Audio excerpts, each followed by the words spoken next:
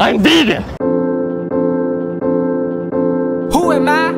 Who am I? That's a question I would like to know. Every word and verb, slur and turn, is one step closer for me to know. I quote A man grows by learning from his mistake, but every stumble I make, it's hard to see what route to take. Mother gives me advice to keep me out these streets, yet I turn the other cheek and get chased by the police. Sad and harsh. Night behind bars made me finally realize this is not a road to stop.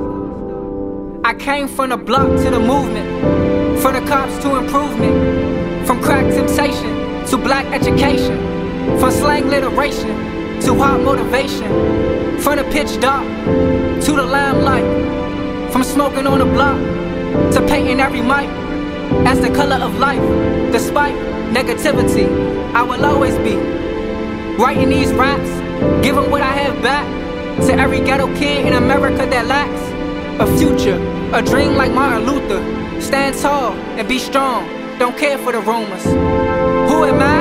Who am I? A misunderstood brother from the hood, but still I rise, still I rise. My intentions are good.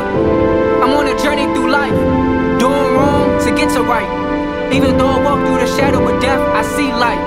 I see the Christ. I will follow his footsteps and learn to be a man. Kenan Amori.